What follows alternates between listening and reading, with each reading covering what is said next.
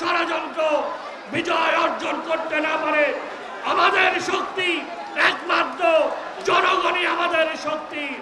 তারা বারবার প্রত্যাখ্যাত হয়েছে। দুই সালে বাংলার জনগণ তাদেরকে প্রত্যাখ্যান করেছে। দুই সালে আবারও প্রত্যাখ্যান করেছে।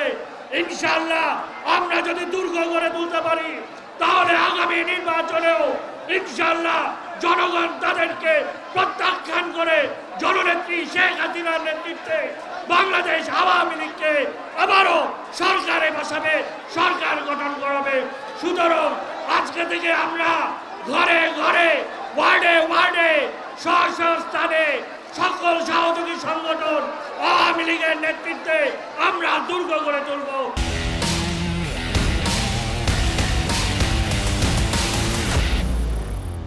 আগামী জানুয়ারির নির্বাচনে জননেত্রী শেখ হাসিনাকে পুনরায় নির্বাচিত করে আমাদের যে উন্নয়নের অগ্রযাত্রা সেই অগ্রযাত্রা অব্যাহত রাখব।